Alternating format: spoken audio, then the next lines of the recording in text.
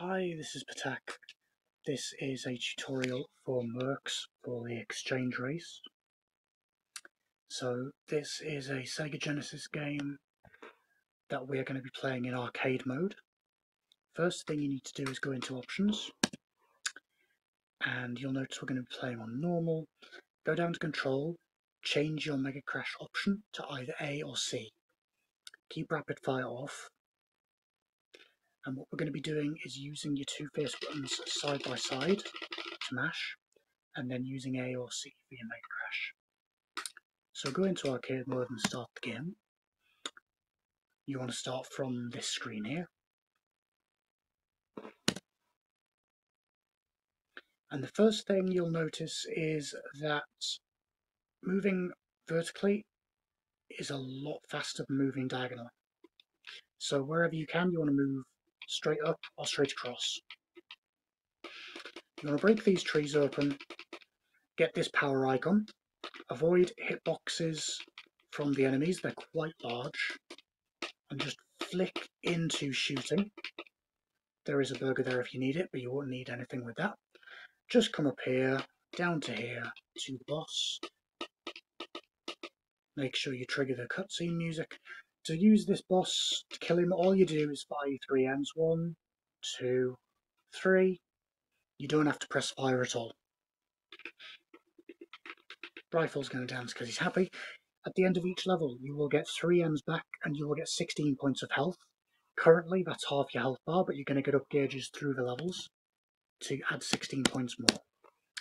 Next level, you want to break this crate here to get another power up and then you want to break this left-hand jeep, get into it as soon as you can.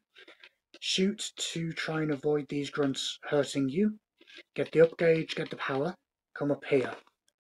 Make a save state. These tanks that are stationary, and turrets as well, fire every 105 frames in the cardinal directions. If you get caught, you can't just run past them, you have to make a manip to get past them, and it's quite common for you to get your tank blown up early here and have to move around carefully, so do be careful. If you take continue here, don't worry about it, it's perfectly normal. So you see I got blown up early, I'm getting hit, I'm getting hit, I have to make a deviation. And if you touch the tanks, you get a very large amount of damage. You start with four continues, that's not a problem. Come up here, that one you can go straight past. There's a burger there, there's an M if you want it, you don't need it. Various amounts of food. Again, wiggle here to make sure you get the music started. This boss, all you've got to really do is fire at it constantly and just fire some M's. When you fire an M, you'll be invincible for a second, but you won't be able to move. There you go. You can do that with even two M's, it's just a matter of taste. If you want to play the game just firing the one, one button, you can. It's fine. Next mission is important. We're going to be picking up the grenade launcher. That weapon is the reason we don't use rapid fire because it doesn't work so well with that. So from here, move into the crook of the crates there, across across, and here. These turrets again every 105 frames. Be careful shoot straight at them. Don't flick away from shooting at them or you'll get hit. Straight, straight, straight. Don't worry if you get hit there. Here, you want to be moving around on this platform so that the bullets aren't going to hit you because they'll freeze you in place for 20 frames. It costs a lot. Like this. On this guy, you want to fire about seven shots from in front of it, and then start using an M-bomb and move up. One, two, three, four, five, six, seven M. Move up. Here you're going to break a turret. There are some goodies on either side if you want them. That M could be useful, for example, that food. That med crate is going to give you 16 health, I would personally recommend not bothering with it. And this here is the wrong weapon. Don't do that. I meant to know this game. What am I doing? So, this lower one here is your grenade launcher. This is the most important weapon in the game. You need this to complete it well. Grab this power, kill this stationary tank. This tank here, be careful. And then you can move left here if you want, because there are a couple of turrets here that are very nasty. Don't die there if you can avoid it. Because you're going to have to move up left anyways to trigger the next boss, so it makes sense to just do it early if you want to be safe. Flesh wounds. So move into the tank's hitbox, move away, you can grab that in if you want. If you're going to take a death, if your health is very low, let's just get my health down a bit here. If you've had a bad level, you can use the cutscene time here, take a free death, because it's still going to happen. Just be aware to press start when it comes up. 1, 2, 3, 4, 5, 6, 7, 8, 9 fire. 1, 2, 3, 4, 5, 6, 7. You can work out a timing of some sort for that. Just make sure not to get caught in the crossfire of those bullets. Don't save up any M's either. The only time you want to save bombs is if you are struggling in mission 5.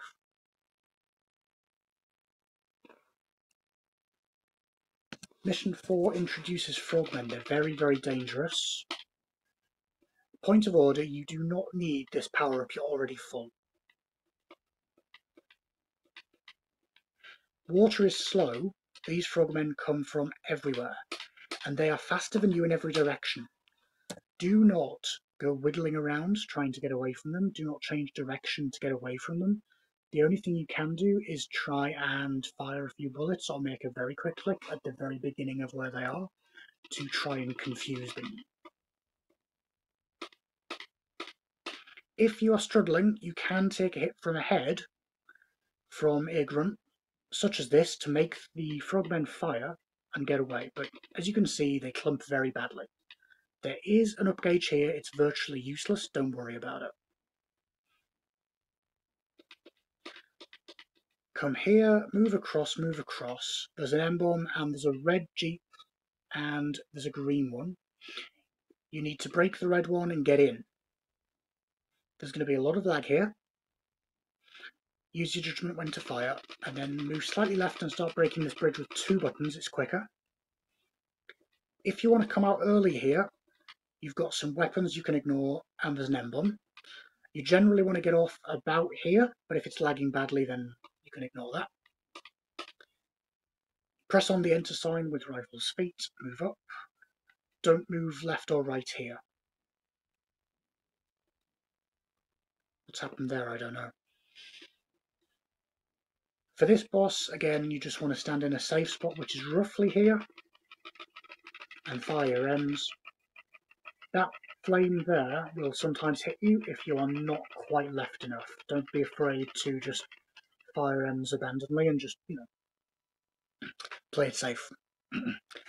Mission 5 is where it gets difficult. You will need to be a bit more careful with your movement and then there's going to be a very hard boss to deal with at the end. There's a safe strat and there's a risky strat we'll go through. So, first things first, you can see contours of brickwork here. We are going to follow this brickwork to get past a tank like this. With the bricks, boom. In theory here, if you want to go fastest, you can go straight up and fire into the stationary tank from the right if you want to be slightly safer, you can go from underneath it. So the theoretical fastest way is like this, but you risk getting hit.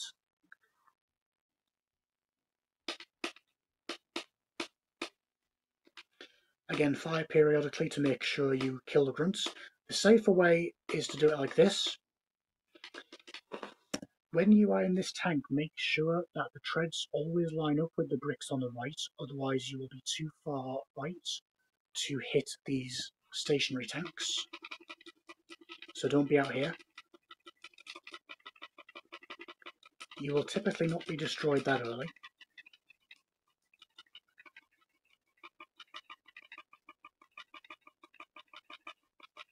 You see I'm taking massive damage there from touching these things. At this point, you need to break that crate to move on, but you do not need to collect the power up, and do not collect that flamethrower. Do not do it.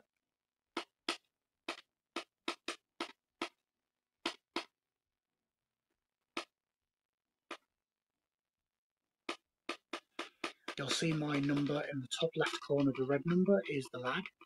You can sometimes try and reduce that by firing strategically, but I wouldn't worry about it for this race. Straight up, kill the Pyjama Men. For this one, you don't mind taking hits here because the Jeep weapon is less powerful. Here you want to line up with the left side of the coming tank and start firing like a madman. And then be aware that when you fire an M-bomb, it affects the square in front of rifle. So when you're firing an M-bomb at this thing, you don't want to be inside its hitbox because it will make it effective. So from down here is okay. From up there is not. Don't come too far up because that guy will get you. Get the M if you want it. And at this point, don't worry about taking damage. Just avoid dying on these things. Be careful of grunts coming from the left here. It is surprisingly easy to get caught by them. Now this is the hard part. The projectiles that come at you here are basically random, so stay in the bottom left corner and move. You probably won't have time to react if one's going to hit you. If you die there, do not worry about it it's normal. But here you must keep firing at these giant cannons because on normal, one touch from one of these will kill you outright. So keep firing. There's going to be... Oh, apparently it won't. That's okay, then it's just the first one. Didn't know that. There's going to be little bits firing at you as well. You've just got to keep firing for a while, auto-scroller. And then eventually we'll get to the main meat of the tank where you can use your M-bombs for invincibility, but they don't do much damage. Or you can try the risky one. So if you want to play it nice and safe, just avoid these water jets. Come up to trigger them, come round. Start firing, and just make sure to use M-bombs periodically, not to get hit. But you'll see they're not doing too much damage because they're damaging up here. However, there is another way.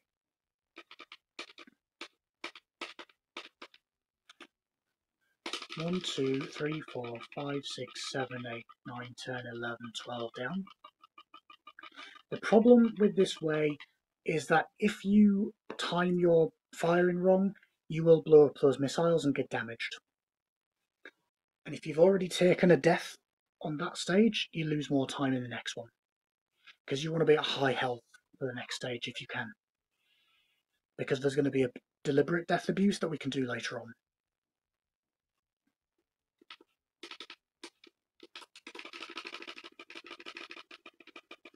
So the only reason those missiles are blowing up is because you are firing into them. But it's basically impossible to avoid that, it's just RNG. And you should still have two continues at the very least by this point.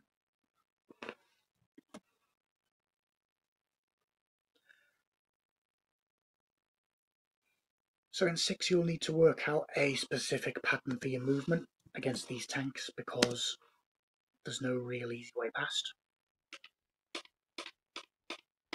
Do a little deviation off and then you can generally get past without too much fuss. Again, if you get hit, don't just go straight diagonally up.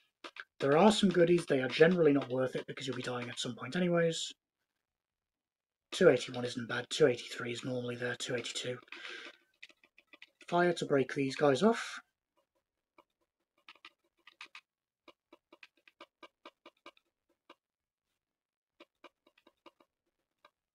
Same with two, uh, whatever these are things here. And then what I like to do is move around, dance, and try and manipulate the spawn of the grunts coming up ahead.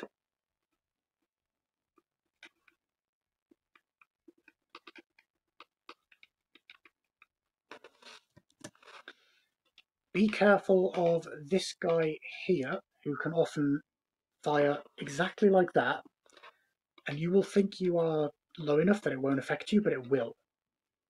Come nice and low here, start going diagonally, get that up gauge because it's 4 points of health. Now, this point here, these electric fences will kill you no matter how much health you have. They are extremely sensitive. You've never played this game before, you're going to probably run into them. What you need to do is use one M-bomb there and there to get past them. Use the M-bombs, don't worry about uh, running out. There's some more goodies down there if you want them. Because then what you can do, one right jeep, two, three, you can usually take that jeep there and take a death. Come up in the centre here, fire an M-bomb. Pay attention to firing on that one on the right. It's easy to move left too early and use the time when they're dying to move left. Again, there's some goodies here if you need them. Use these grid lines to move. Be careful there, that's a choke point. And then we've got a graphical glitch, you just ignore that. It's just because you've got past the uh, tank earlier than I expect you to. And then this is almost the final boss. So what you need to do here is not hug the front wall here. I'll show you. Don't hug it like that. Just move left and right. Don't worry about losing a second for firing. Use your M-bombs. Because again, if you move just hugging the top left and top right, you will end up not moving as far and you'll get hit. You should have plenty of M-bombs. If you wanted to start saving M-bombs, you could get more than three from mission five, grab a couple in six, and you would have five or six by that point.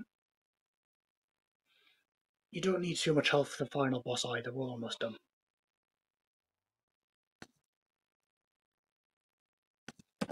So, for the final boss, you can just mash at it and use your M-bombs.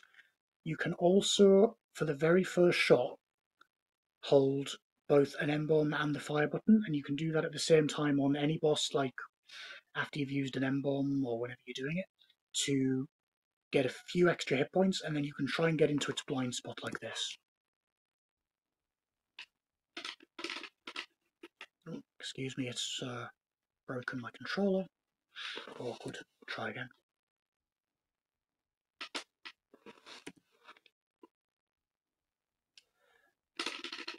So there is a little blind spot here that you can get into that makes it very slightly faster, and you're not going to get killed. That's not quite it, but it's close enough.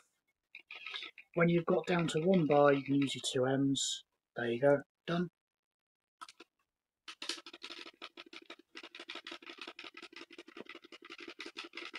The main thing is obviously just to avoid dying because you'll lose time, you might even game over, you don't want that. And then time ends when rifle can no longer move.